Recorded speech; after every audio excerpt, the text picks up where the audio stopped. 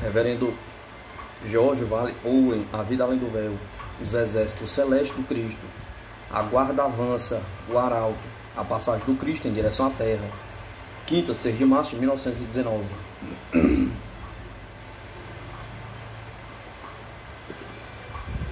Para bem longe das estepes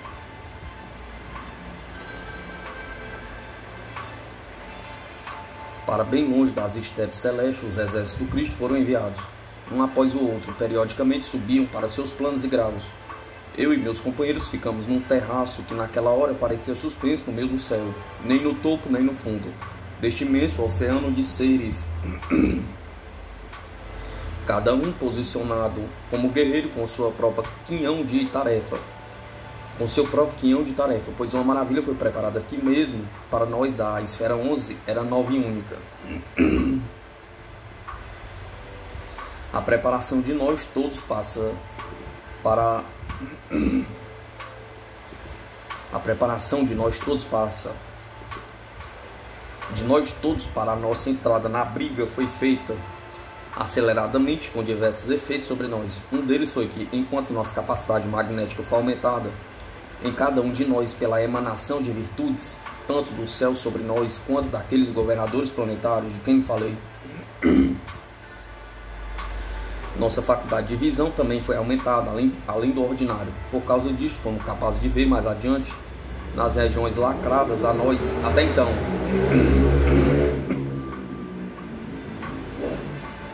Nas regiões lacradas a nós até então. O propósito disso era a coordenação de forças Vale dizer que, nós, que nos foi dado uma ampliação de alcance de visão para que pudéssemos observar os movimentos daqueles nos planos abaixo ou acima de nós, e assim combinar os nossos com os deles. Assim trabalharíamos mais perfeitamente juntos para a maior vantagem.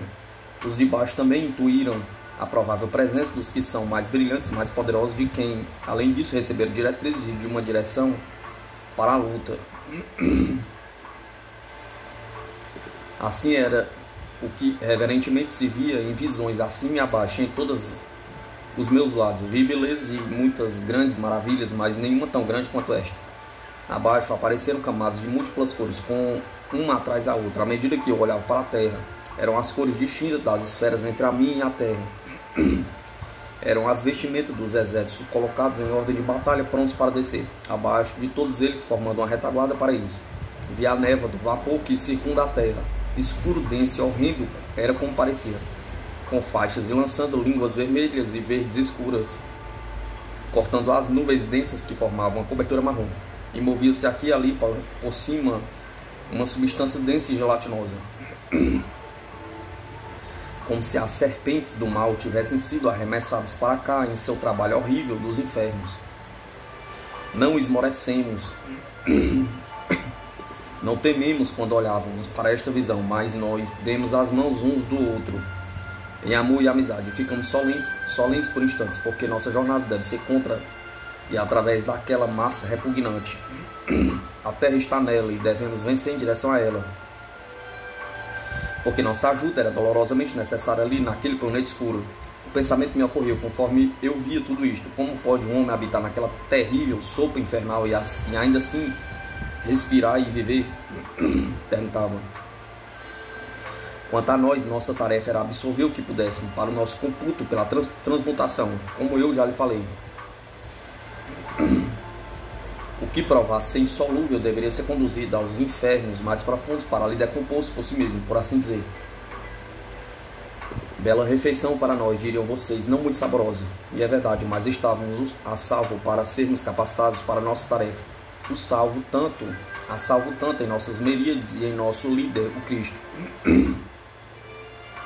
Então nós viramos e olhamos para cima, lá estavam parados ou moviam-se suavemente o terraço, terraço após terraço, aqueles mais brilhantes. Cada terraço era um céu e cada céu, conforme estava disposto diante de nós, de forma panorâmica, era um degrau na grande escadaria que subia altas montanhas acima, suspenso no espaço estonteante até adentrar na radiação impenetrável, o topo estava fora de visão. Somente os, da, os de algumas esferas acima de nós, lá nos planos lá dos planos do eterno presente, eram competentes para olharem dentro daquela luz e verem o que havia lá. Para nós era um vácuo de luz, nada mais. Entretanto, nos deu força para vermos aquelas miríades a nosso alcance.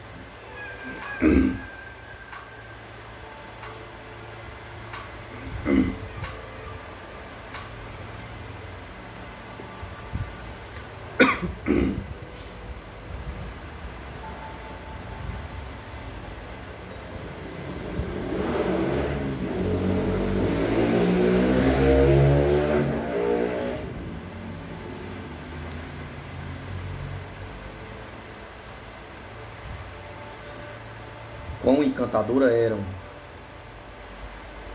estes mais próximos de nós, vestidos em roupas de material brilhante de matizes desconhecidos para os que estão abaixo. Os mais altos, além daqui, estavam envolvidos por uma aura que parecia de um leve tecido. Seus corpos radiantes, com sua beleza de forma de substância, cada um sugerindo um imponente poema ou uma suave canção de amor e aspirações. Cada um sendo um Deus em graça e equilíbrio, cada um com seus pares perfeitamente distantes, disposto diante de nós. Vocês diriam, nas palavras da terra,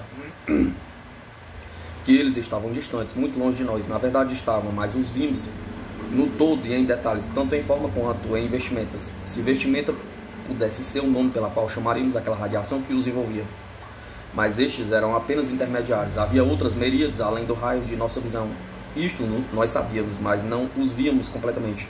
Eram sublimados demais para nós, do nosso grau, podemos vê-los e acima de tudo, sabíamos, sabíamos que ali estava o Cristo. Se estes são tão encantadores, dissemos uns aos outros enquanto observávamos. O que deverá ser ele em sua própria glória? Aqui paramos. Não poderíamos seguir adiante, assim deixamos o assunto ali, pois sabíamos que ele viria para nos, nos comandar, e quando ele viesse, assumiria a visibilidade por nós, condicionando a si próprio até a capacidade dos habitantes das esferas descendentes conforme passassem sua caminhada progressiva em direção à terra. Porque nos foi dado saber que ele, que estava acima de nós, iria para baixo até chegar ao firmamento, no firmamento da terra, para liderar a caravana. Meu filho, nunca houve líder como ele. Entre os deuses e principados não pode haver para não pode haver par para ele em liderança, tanto dos anjos quanto dos homens. Digo isto solenemente, pois esses poderes celestes e príncipes não são feitos segundo um padrão, como você deve saber. Mas como vocês da Terra também aqui, cada um expressa uma personalidade própria. Isto fazemos nós. Os anjos assim fazem os que estão acima de nós em grau de santidade, assim fazem os de grau ainda mais alto, e assim faz o maior, expressando cada um as excelências do Pai em sua própria personalidade livre. Por isso digo que, a respeito de liderança, o Cristo é ímpar entre eles todos, penso eu. E estes meus companheiros com quem estive ali no discurso disseram o mesmo que digo. Mas falaremos disso novamente. Então dirá se parecemos ter julgado acertadamente ou não. Arnel. Sexta, 7 de março de 1919. Esperamos, expectantes, olhando para cima ao longo dos seus compactos, conforme ele se estendiam além sobre nós. Lá eles estão como um, um tapete gigantesco de seda desenrolando e pendente, todo folhado e pregado, pregueado, como uma cascata de águas prismática à luz do sol celeste. Cada prega era um céu, cada folha uma fronteira, fazendo a concordância entre dois deles e misturando duas cores dominantes em uma só. Cobriu seus, os céus desde os mais altos em ondas brilhantes, seus matizes cintilando na radiação celestial, como joias no manto real. Cada pedacinho de cristal um anjo de poder que, conforme se movia, captava e refletia algum, alguma nova beleza daqueles raios celestes. Então, enquanto observávamos, a filha mais distante de nossa visão vagarosamente começou a mudar de coloração. O matiz normal estava ali, mas sobreposto por outro ingrediente, um novo fulgor. Sabíamos que o Cristo e seu secto chegaram ao raio de nossa visão. Muito lindo era de se ver, à medida que um após o outro daquelas sedosas camadas pareciam cair sobre a de baixo, toldando-a até que esta também caísse e beijasse a terceira, que da mesma forma inclinaria sua cabeça e deitaria sua face carinhosamente sobre um ombro de seu familiar abaixo. Este era o aspecto do víamos. Este era o aspecto que víamos quando da chegada do Cristo de lá longe, enquanto descia passo a passo em direção a nós, cada vez mais perto e mesmo assim numa vasta distância de intervalo, acima dali, emergindo daquela luz impenetrável, lançando sobre as esferas a influência de sua presença. À medida que descia até nós, finalmente as ondas de luz que vinham antes dele começaram a se mexer sobre a fronteira superior de uma região de, a poucas esferas. E então podemos notar que estava em torno com mais detalhes. Começamos a ver sua ampla guarda dianteira conforme ele avançava e lançava suas irradiações para frente antes que passasse, mas ainda não o víamos. Então, pasmados, depois de longo êxtase em grande elevação pela visão de tanto poder e glória, começamos a sentir em nós um brilho que nos banhava com uma sensação de amor e piedade e uma vontade de resolver de resolver dar de, do nosso melhor esforço naquele trabalho que nos esperava. Então soubemos que ele estava ali próximo em pessoa. Mas não posso dizer-lhe como ele chegou ou quanto passou por nós, meu amigo. Tudo era glorioso demais. Passarei a você o que eu puder. Aquele brilho aumentou até que nos sentimos muito fortes e capazes e ficamos eretos e esticados no nosso pescoço para ver sua chegada. Primeiramente vieram os, os acompanhantes que chegaram até chegaram antes para nos prepararem, pois desta vez ele veio de forma diferente das que lhe descrevi algumas vezes. Em sua grande glória e poder intrínseco, desta vez ele veio para capacitar 10 mil batalhões de seus escolhidos para esta grande empreitada. Por isto era necessário que observássemos de sua força em nosso exterior para que por isto pudéssemos estar também sintonizados gradualmente. Portanto, eles vieram conforme passavam por nós e através das nossas graduações, um deu uma palavra de sabedoria, outro suas bênçãos, outro um beijo de paz, de acordo com a necessidade de cada um. Eles passaram entre nós vagarosamente, os mais fortes, individualizando-nos. E num abrir e fechar de olhos, levantaram nossas faltas, supriram-nas e passaram adiante. Os que estavam acima de nós os dirigiram até onde estava a necessidade. Todos trabalharam juntos numa harmonia de trabalho que por si mesmo era uma lição sem igual para nós. Pergunta: O que lhe aconteceu, Arnel? Resposta: Havia mulheres com eles, assim como havia entre nós. Vocês mandam mulheres para as guerras da terra, meu filho. Nós também trouxemos mulheres para o socorro em suas próprias esferas de serviço. Eu fiquei ali distante de meus companheiros, porque havia sido agrupado junto por um daqueles que veio, para que pudesse falar a eles. Enquanto estava ali, vieram a mim um homem e uma mulher. Sorriam e cada um deles tomou uma das minhas mãos. O homem era de maior estatura que eu, e a mulher apenas um pouco mais baixa que ele. Um par gracioso e muito imponente, mas muito simples em sua humildade e amor, como todos eles, os grandes.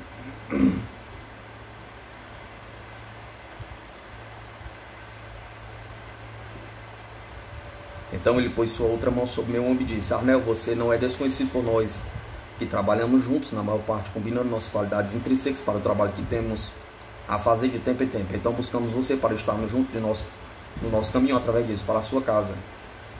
A senhora que é minha acompanhante tem, penso, algo a dizer a você antes que seguimos adiante.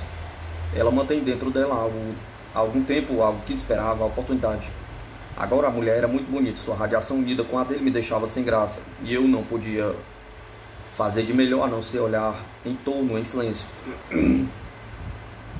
E enquanto eu assim procedia, vi que ela apertava minha mão, mas minha mão enquanto a levantava um pouco. Então, diante de meus olhos abaixados, veio a coroa de sua linda cabeça, que ela se inclinou para beijar minha mão. Por uns instantes, seus lábios permaneceram ali e eu olhei sobre seu sedoso cabelo castanho dourado, onde uma tiara dourada atravessava onde estava partido e caía para os lados. Não pude falar, pois o toque dele deu uma alegria que me levou, e tão estranhamente em sua santidade que não posso transcrever em palavras.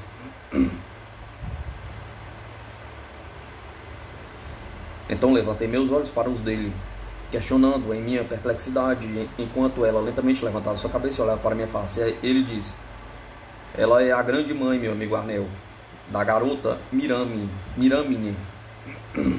Olhei para ele e para ela, e ela sorriu, dizendo: Eu lhe agradeço, Arnel, porque você fez por mim o que eu não era capaz de fazer, estando tão distante. Mas vendo o apuro da garota, enviei a você meu pedido, e você prontamente respondeu ao meu desejo.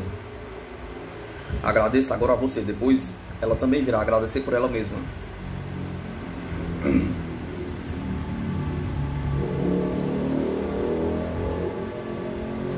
Beijou-me na testa, gentilmente, gentilmente apertando-me em direção a ela, e então eles seguiram seu caminho, sorrindo para mim enquanto me deixavam, enquanto senti que sempre estaria em contato com eles. e nunca afastado. É assim por aqui. É assim por aqui. Você, você está imaginando que seria, que seria Miramine de quem ela falou?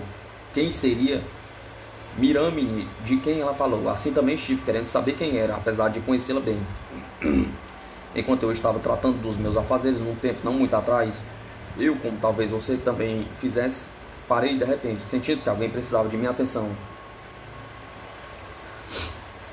Bem, enquanto fiquei passivamente ali parado, veio a mim não uma voz, mas um impulso a qual obedeci. Desci apressadamente ao plano da terra por alguma influência esotérica. Fui levado a uma jovem que estava por passar para a vida espiritual. A princípio, eu mal sabia o que devia fazer, somente sabia que era ali. Mas logo percebi tudo, esperando pela passagem dela. Ali estava um homem perto de mim. Ele havia sido a ruína dela na terra e estava esperando por ela agora para clamar por ela e arrastá-la com, com ele em sua maldade. Então, para resumir, fui de encontro a ela quando ela veio para cá. Afastei-a dele com muito empenho e conduzia a um lugar salvo, onde ele não poderia alcançá-la na esfera 3. Ela estava agora, ela está agora duas esferas adiantada e tenho guardado e protegido todo o tempo. Ela é uma das minhas tuteladas, portanto, ais aí. E agora foi uma grande alegria eu saber de onde veio o primeiro pedido e também saber que servia a quem pediu com sua aprovação. Tal alegria você não poderá entender enquanto estiver na terra, meu filho, mas ele previu isto quando ele contou a história dos esmoleres e a graça que os esperava conforme fossem confiáveis em seus deveres.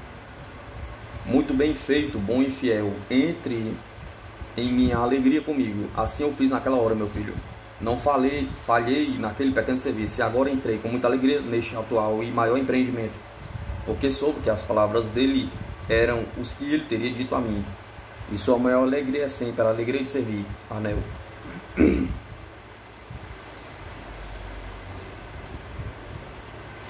Segunda, 10 de março de 1919. Agora você deve saber que estas transações se estenderam por muitos anos na contagem de tempo da terra. Enquanto isto, enquanto isso, cuidamos de nossos trabalhos quando a reforma de uma comunidade da terra está em andamento. As pessoas ainda assim trabalham na sua lida do dia a dia. Assim também fazemos.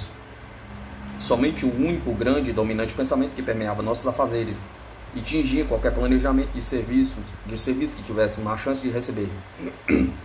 Era a chegada do Cristo e o condicionamento das esferas sobre nós enquanto ele chegava. Isso podíamos ver à medida que passávamos em nossos caminhos aqui e ali. Às vezes nos reunimos para examinar mais cuidadosamente a mudança esplendorosa de seu caminho. Nesta vez, a maioria de nós chegava quando um arauto entrava no estado de nossa esfera e, ficando algumas vezes num pico de montanha ou suspenso no meio do céu, proclamavam a assembleia. Então, os que eram chamados iam ao lugar do encontro e esperavam o que aconteceria. Uma destas ocasiões foi a que lhe narrei na última sessão, mas em outras vezes continuávamos em nosso serviço ordinário ou éramos especialmente treinados para o nosso futuro serviço com o nosso príncipe quando ele os chamasse, ou se fôssemos mandados em missões especiais para outras esferas. Mas neste último caso, uma linha mais que perfeita de comunicação era mantida normalmente, assim podíamos ser localizados de uma súbita chamada. Se uma súbita chamada fosse feita para o nosso entendimento. Mas apesar de que muitas coisas foram feitas durante este tempo que poderiam ser de seu interesse útil, agora vou passar ao largo. E se for assim ordenado no tempo, o futuro retornaria a eles. É meu propósito dizer-lhe da chegada do Cristo. Nós chegamos juntos, nós os eleitos para segui-lo, e agrupamentos, e agrupados nos parques onde estava a Torre dos Anjos. Enquanto esperávamos, Olhamos para a coroa de palmas no teto, gradualmente ali emergiram para a visibilidade. Um após o outro, vários anjos. Eles estavam ajoelhados, sentados em pé, reclinados naquele trabalho em filigrama. Filigrana. Não se moveram de suas posições da coroa, tornaram-se apenas visíveis diante de nossos olhos. Eles estavam ali antes, invisíveis, então tomaram sua forma exterior onde estavam. Acabando de fazer isso, não ficaram parados, mas moviam-se de um lugar a outro conversando. Era de alto grau e muito belos. Já lhe relatei um acontecimento similar a você. Não acho que muitos destes eram os mesmos que vieram então, alguns deles eram. Quando todos estavam ali, outra forma foi vista tom, tomando forma deste jeito. Ali apareceu um item, um novo item na coroa. Uma cruz elevando-se no centro dela e sobre ela. O último anjo a, a vi ficou num braço da cruz e descansou sua mão esquerda contra a posição superior dela. Ele era mais resplandecente que qualquer um deles. Quando ele tornou-se completamente condicionado à nossa esfera, levantou sua mão direita, olhando para baixo de nós. Olhando para baixo para nós, dando-nos sua bênção. Então falou a nós numa clara voz forte, na, não alta na tonalidade, mas mesmo assim alcançando-nos embaixo a todos os que estavam naquela zona. Estavam espalhados longe nos vales e colinas, alguns nos tetos dos barcos nas águas. Aí ele fez sua própria sua proclamação dizendo: Nós o chamamos, meus companheiros, para que ouvissem uma mensagem dele que se desloca para perto deste estado, para que sua chegada e, e na sua passagem entendam que o que será vocês não percam as bênçãos. Saibam, entretanto, que já o, o viu. Saibam, entretanto, quem já ouviu em outras vezes, que agora ele vem de outra maneira como o haviam visto até agora. Ele vinha para algum propósito ou outro, conforme houvesse certa necessidade espe especial. Agora ele vem, não na sua forma completa ainda, mas numa grandeza muito maior de majestade, que algumas vezes já fez. Pois até então a pois até então descia a vocês em seus serviços peculiares. Agora ele vem como com o mandato de seu pai para trabalho. É um empreendimento para um grande momento, porque a terra está em dolorosa necessidade de seu socorro. Quando, portanto, ele passar por vocês, cada um de todos vocês revelem a ele quais qualidades realmente lhe faltam. Desta forma estarão sintonizados à tarefa que se seguirá, que se seguirá e fortalecidos para o seu cumprimento. Não deixe de estar prontos, nem fiquem intimidados, demais por sua glória. Ele atrás a vocês, ele próprio não precisa disto. É por vocês que ele vem todo glorioso, e as faixas de sua radiação são para vocês. Banhe-se nelas, portanto, e apropriem-se delas para seu uso da aquilo que de força e dignidade trazem suas forças magnéticas. Agora tenho para si pequenos grupos para conversação amigável. Falem uns aos outros daquilo que eu disse a vocês. Minhas palavras a vocês têm sido poucas, transformem-nas em muitas, e ontem ficaram paralisados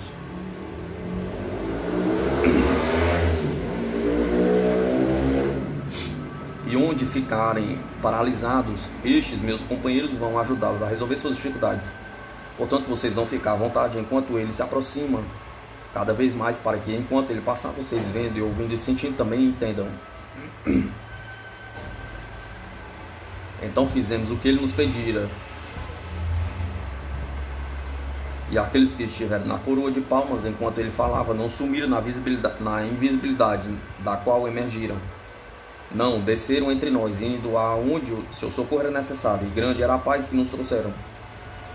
Então, quando Cristo passou, não fomos encontrados, encontrados desprevenidos. Fomos capazes de absorver em nós do rio maravilhoso de águas da vida que nos banhou em nosso batismo de seu mais íntimo conselho e propósito. Esta foi a última das, das assembleias antes que ele viesse. Quando terminou, soubemos que éramos um dos dele, e tão inquietos e contentes esperávamos seu bom prazer. Arnel. Terça, 11 de março de 1919. Fomos agrupados entre os altos planos da esfera 10. Era um lugar solitário e com poucos habitantes. O que havia de prédios ali estava ocupado na maioria com o trabalho de coordenação da grande torre central, onde era mantida contínua a observação sobre a região ampla. Pergunta. Isto, claro, foi antes de você se tornar um morador do templo, do qual já me falou? Resposta. Sim, meu filho, já faz tempo que o encontramos em sua progressão, em sua descida. Naquele tempo eu tinha subido para a esfera 10, da qual fui habitante por um período considerável. Eu estava aqui quando ele esteve na fronteira daquela região. Nós observamos do alto da montanha uma longa distância. A luz sobre ele era o brilho do cristal, numa matiz verde dourado. Então começou a mudar e o verde deu lugar para o rosa, como uma rosa é vista através de uma barra. Seu brilho intensificou-se até que tudo flamejava em vermelho dourado, com ondas de luz sendo emitidas como se tivesse movimento para cá e para lá em sua progressão. Então começamos a ver as formas deles, e à medida que vinham em direção a nós, elas estavam delineadas contra a nuvem de luz na qual Cristo se movia para adiante. Elas eram muito gloriosas de grande estatura, como se quisessem emparelhar em poder. Homens e mulheres eram. E alguém aqui e ali era um, um anjo dual. Dois em um, deixo assim. Você não entenderia este mistério. Nem eu seria capaz de colocá-lo em palavras a você. Eles não eram nem bissexuados nem assexuados Deixe estar deste jeito. Eram tão encantadores de serem vistos, mais de semblante mais suave que os homens, e de porte mais régio que as mulheres suas companheiras, assim. Esta companhia passou adiante. Então, até a condição de nosso estado, e preencheu todo o firmamento com sua luz e glória. Não desceram entre nós estes, pairaram sobre tudo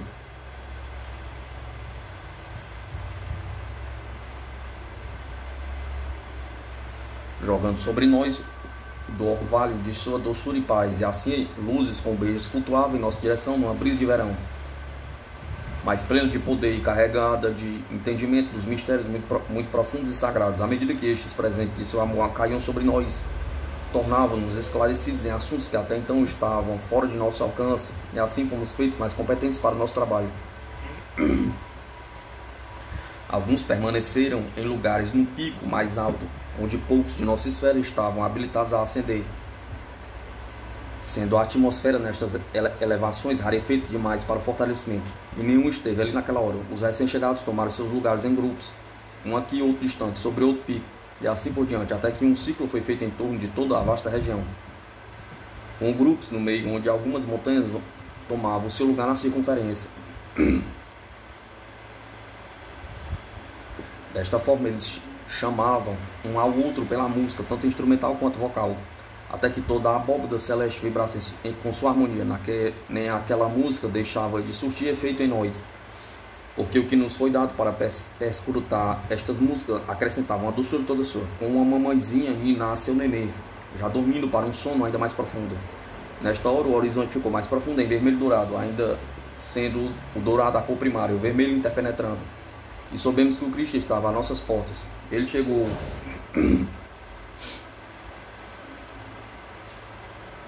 Ele chegou como contar-lhe da forma que ele chegou ou da glória de sua presença?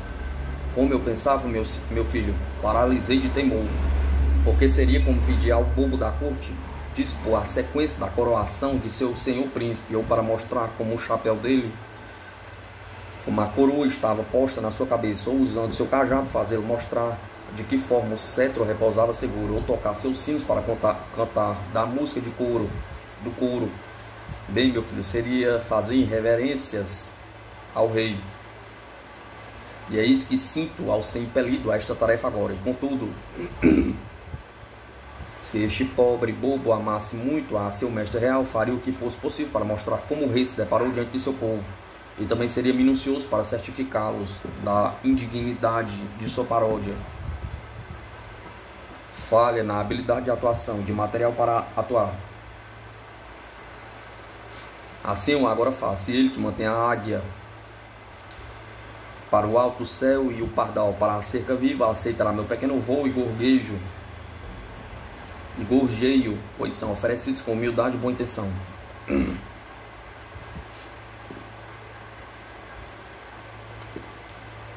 Sua radiação circundante aumentou em seu brilho e expansão até que todos estavam envolvidos nela. Podia ver seus companheiros muito claramente mesmo após os locais mais distantes. Mas todo o ar estava tingindo de dourado rosa. Nossos corpos também estavam banhados em seu fluir líquido. Desta forma ele nos envolveu no todo e em parte. Era em sua presença e personalidade que estávamos, e nada mais sentimos a não ser ele em nós e em torno de nós éramos em Cristo e parte dele. Entretanto, apesar de ele assim tornar-se universal a nós, ele não se esquivou de aparecer em forma exterior. Eu o vi enquanto se movia em torno, sobre e entre nós. É muito difícil de lhe contar. Ele parecia estar em todos os lugares ao mesmo tempo, em sua forma corporal e localizada. Sendo mesmo assim apenas único. Não posso falar melhor. E não está bem dito, é claro. Assim ele apareceu a nós Duvido muito que ele não tenha sido visto identicamente por nós em detalhes de caráter. Para mim, ele apareceu como ele dirá agora.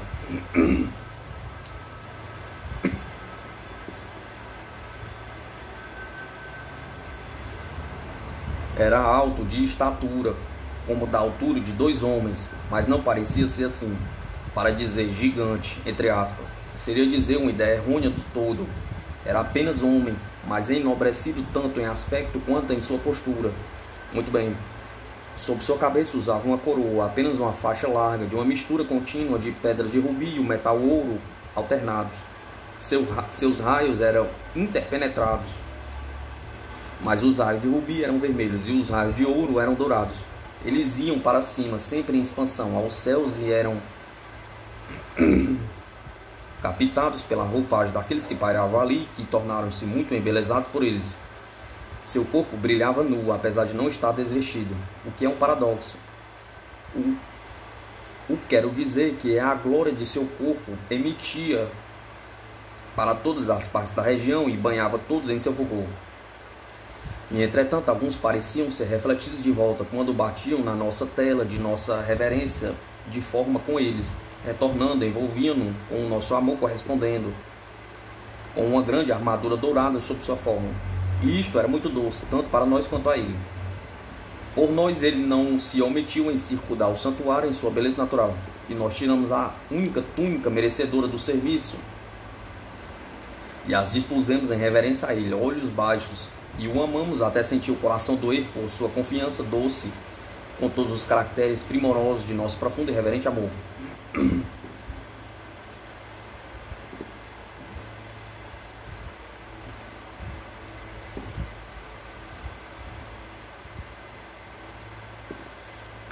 Mas tínhamos visto sua glória conhecemos seu amor oprimido dentro dele.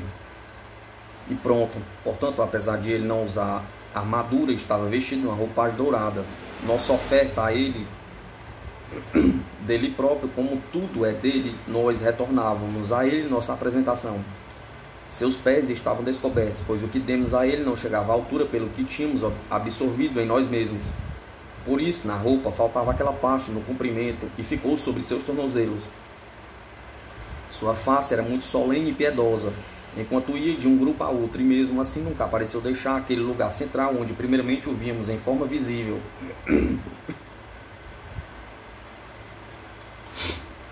Podíamos ler seu semblante como um pergaminho desenrolado. A solenidade veio dos reinos inefáveis, onde os pecados não são desconhecidos, mas conhecidos apenas como fatos, não como experiência.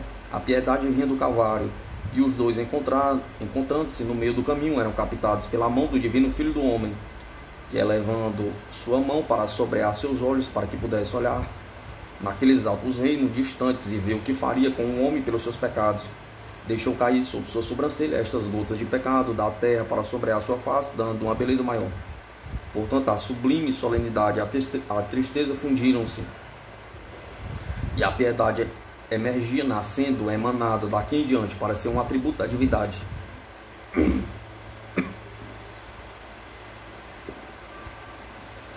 Ali havia amor, não que delicia dar ou receber, mas o amor que no fundo nos une a todos e torna todos um, idênticos.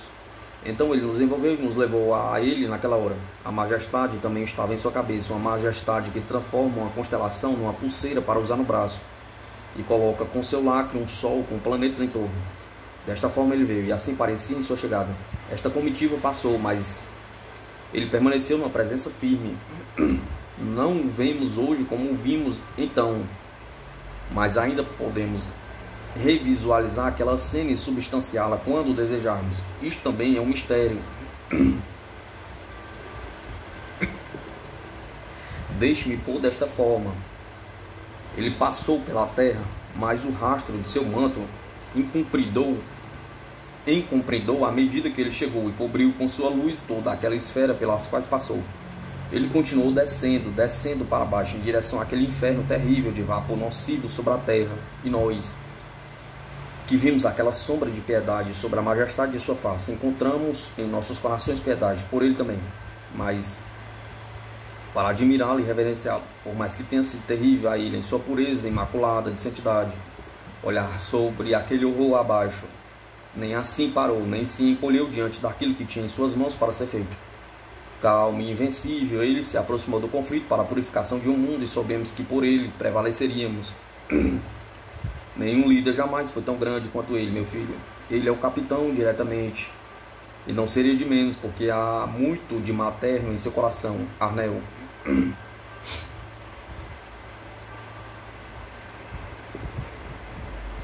Como os batalhões do céu lidam com ciência terrestre, religião, cristandade, o Cristo da Terra, parábola, vovô e os planetas. Quarta, 12 de março de 1919.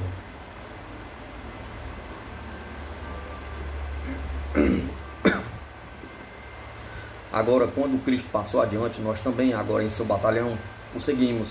Estávamos de prontidão em várias ordenanças, mas sem nenhuma voz de comando exterior. Nossas autorizações vinham de nossos próprios corações, onde eram recebidas tais ordens, através de nosso preparo para entender exatamente onde estavam nossos campos de serviço e o que era requerido de nós ali. Por isso estamos à vontade em nossos lugares individuais, inspirando inspirados ali pela comunhão de Sua presença, e mergulhamos em nossa tarefa.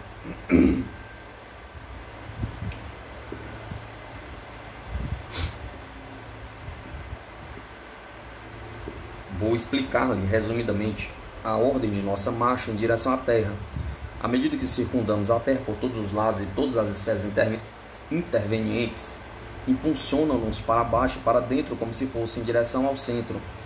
Isto é, para explicar a você em termos de espaço, um espaço de três dimensões. Somente desta forma poderá chegar a uma leve noção do computo desta grande campanha.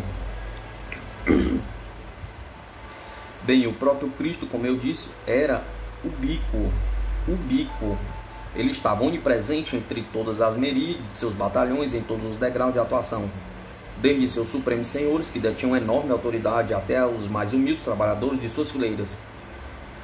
Mas apesar de que internamente fôssemos inspirados para nossos vários deveres, mesmo assim é externamente tudo exposto em perfeita ordem para a batalha.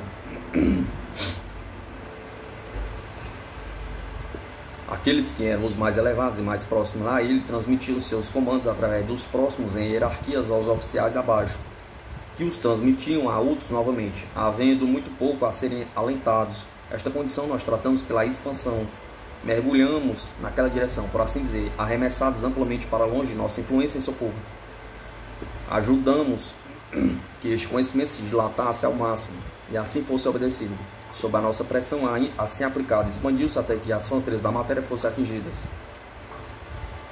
Mas o ímpeto que tínhamos dado a esta ciência material não poderia ter ficado ali. Gradualmente pressionou para fora de suas próprias fronteiras e começou a emergir aqui e, aqui e ali e a colar adiante. Assim, aquela linha afiada, tão arbitrariamente colocada entre, entre o material e o espiritual, começou a cair e salientar-se Aqui e ali, uma pequena brecha foi feita. Pequena a princípio, aumentando mais tarde. Mas pequena ou grande, repare bem, já tais brechas foram consertadas. Uma vez o dique rompendo da pressão firme e irresistível de, do conteúdo espiritual fluiu de forma crescente para a sua ciência na Terra. E isto continua hoje em dia. Desta forma, não destruímos sua ciência por cataclismos, como aconteceu em eras passadas.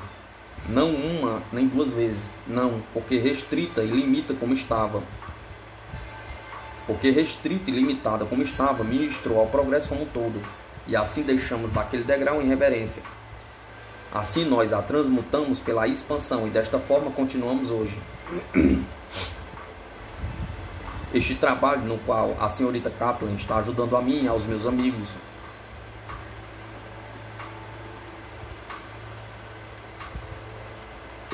pode parecer ter pequena relação com aquilo que acabo de descrever a você. Mesmo assim, é um item da mesma operação se você reler as mensagens que recebeu de nós e as que escreveu com a sua mão antes de nós, verá que aquilo que você foi capaz de receber de cunho científico lhe foi dado. Nada a mais. Garanto a você. Mas naquilo que você falhou não foi por sua vontade, mas por falta de habilidade. Direi isto a você, entretanto, àqueles que agora estão sendo preparados, que são mais capazes que você para esta fase especial de revelação. Homens, sim, algumas mulheres também, de mente científica, que serão instrumentos mais fáceis para o trabalho. Não serei pretor deles, Não, já que isto não é muito de minhas qualidades. Cada um de nós segue aqueles que o entendimento é feito pela própria simpatia. Desta forma, cheguei a você, meu filho. Posso não falar das ciências como os outros, de meu grau, são capazes de falar, sendo tão competentes por seu treinamento. Mas o que sou eu revelo a você, e o que tenho eu dou. Você, com sua doce graça, recebe minha oferta. Assim estarei tão contente quanto satisfeito. Que a maior paz de, que a maior paz de Deus esteja com você, meu filho. Falaremos deste tema ainda. Você está um pouco extenuado em suas forças agora. Agora, Arnel. Segunda, 17 de março de 1919.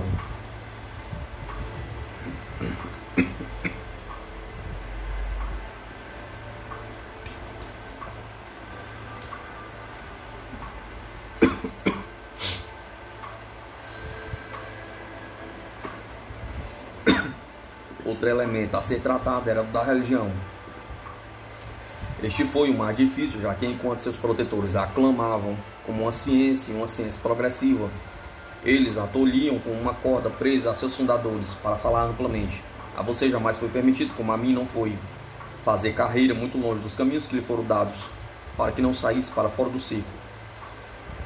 Quando distância não ampla da circunferência fosse alcançada, a corda rapidamente lembraria você, e às vezes violentamente, se fosse se você tivesse a cabeça muito aberta que você estava atado ao centro e não deveria de forma alguma perder-se tão longe dele.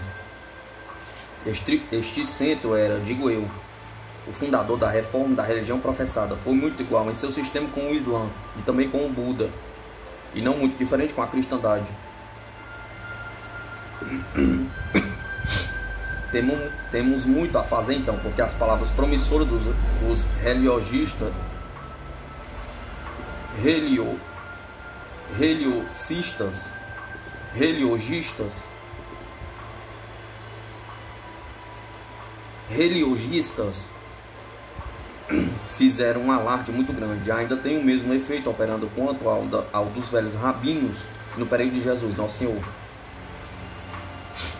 Em todo caso, nós olhando de perto e em detalhes esses temas, encontramos o erro procedia, que o erro procedia de uma grande causa, Deixo para trás os fatores menores de ganância por ouro e poder, daquela faceta estranha de sinceridade chamada fanatismo, da hipocrisia que gera tanta cegueira naqueles que pensam que são sinceros. Você pode ler sobre eles todos nas escrituras dos homens bons de Israel e da, primeir, e da primordial mãe igreja, já que os que caíram vítimas dos mesmos erros também as leram através dos tempos Digo que deixe tudo isto de lado e falo da única causa fundamental.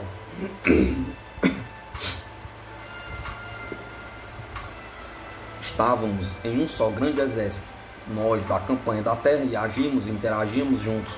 Mas tínhamos também nosso, de, nosso departamento de serviço, onde principalmente concentramos nossas energias, já que vinha vivido, já que tinha vivido na cristandade para esse sistema de religião e fui transferido, e dele falarei, falarei agora.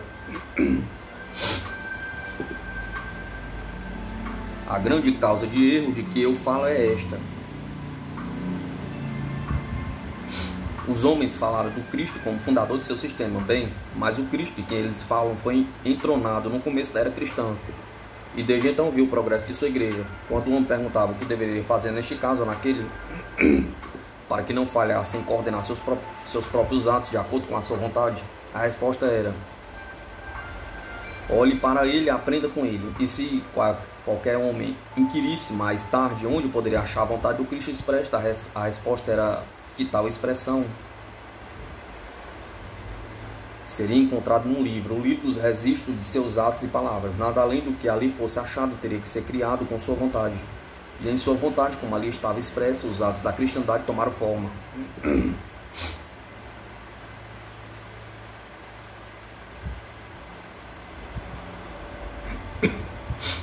E desta forma chegou a acontecer que a cristandade tornou-se atada com uma corda a um livro. A igreja verdadeira estava vida, viva com sua vida. Seu espírito preenchia com a passagem vital do sangue no corpo humano. Como a passagem vital do sangue no corpo humano. Mas aquela vida estava sendo estrangulada e o corpo começou a parar. E finalmente andar em torno de si muito lentamente naquela órbita circunscrita. Verdadeiramente, suas palavras e atos registrados foram uma herança muito preciosa. Foram feitos para ser um Shikna, para guiar a igreja através da selvageria das eras. Mas repare bem, o Shikna veio antes das crianças de Jacó e os liderou.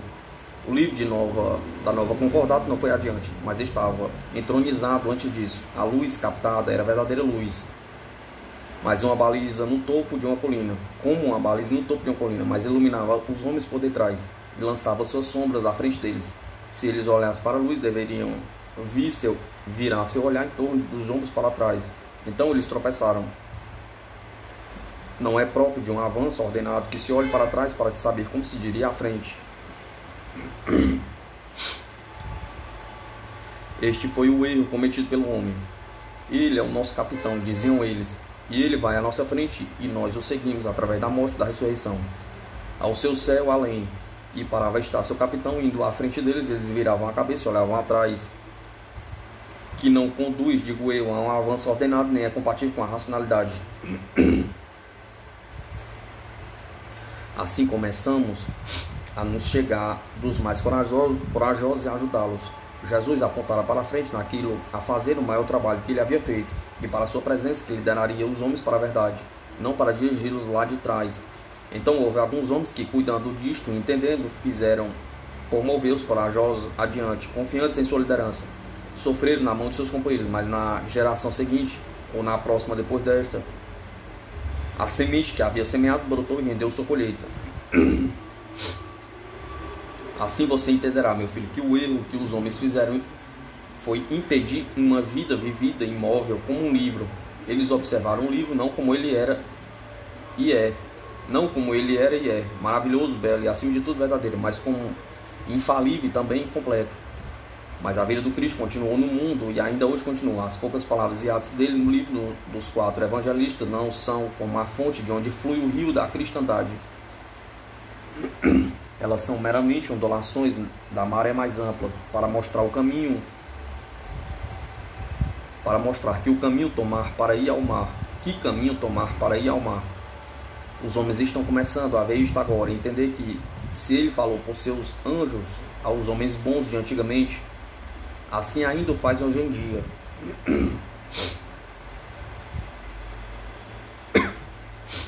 Estes homens seguem adiante, felizes pela sua luz baliza atrás deles, mas com maior alegria por irem, por irem para a frente em direção à luz mais radiante ainda. Mais radiante adiante, pois lá ele, ele está hoje, como ele estava quando foi para Salém naquele tempo. Ele anda na sua frente, siga-o sem medo. Ele promete que os guiaria Siga-o, ele pode não esperar por sua hesitação. Leia o que foi escrito dele no Evangelho. Mas leia enquanto caminha para adiante, não volte ao tempo passado e de novo para o santuário da autoridade, inquirindo como da pitonisa de Delfos. Devo fazer isto ou aquilo? perguntava. Não traga os pergaminhos daqueles apontamentos resumidos como você enquanto com você enquanto segue adiante em sua jornada. Desenrole-os em sua cela enquanto cavalga, porque será um bom mapa para o estágio atual. Se em alguns detalhes é obsoleto, mesmo assim o grande contorno do país ainda está bem desenhado e corajosamente constituído. Há outros mapas de assuntos posteriores, consulte-os também, acrescente ao antigo os detalhes que lhe faltam, mas siga em frente o tempo todo. E se alguém procurar amarrá-lo firme seus tendões e aperte seus joelhos contra os flancos de seu cavalo. E indo adiante, estale a corda que eles usariam para prendê-lo lá atrás. Haverá muitos, aliás, muitos mesmos. Daqueles que, não querendo seguir adiante, ficam para trás, chocados com a poeira levantada por aqueles que seguiram.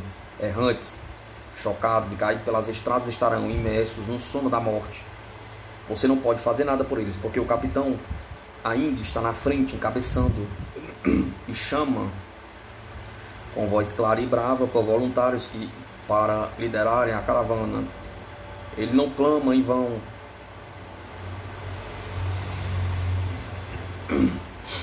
E enquanto aos outros, bem, serão suficientes para serem companhias, para serem companhia para eles. Os mortos devem enterrar seus mortos, e o passado morto deve pô-los em seu túmulo na calada da noite. Mais adiante, a aurora está surgindo. Há verdadeiramente nuvens no horizonte, mas o lindo sol deverá espalhá-las com seus raios quando estiver completamente elevado. E naquele dia todos os homens verão que, desejando abençoar cada um de suas crianças, o Pai colocou apenas um sol no meio do firmamento de seu brilho. A visão dos homens em relação ao sol tem diferentes ângulos de acordo com a sua habitação, seja ao norte ou ao sul do céu, seja ao norte ou ao sul de seu celeste caminho, e para alguns ele é mais brilhante, para outros brilha menos. Mesmo assim é o mesmo sol, e somente por sua bondade para as justas bênçãos da terra. Não que ele favoreça um povo com mais de, com mais de suas bênçãos e outros de menos. Ele emana seus raios em todas as direções igualmente. É o livre-arbítrio das pessoas que determina o tamanho de sua porção, uma por uma, ao se escolher a localidade de sua habitação. Leia direito esta parábola, meu filho, e verá que, seu, que se o Cristo fosse o sol de um só credo, ele deveria necessariamente ser sol a todos, porque um sol não pode ser eliminado da face de um mundo, exceto quando o mundo vira a sua face para longe do sol. Aí então ele torna-se verdadeiramente escondido, e contudo, mesmo assim apenas por uma estação, Arnel.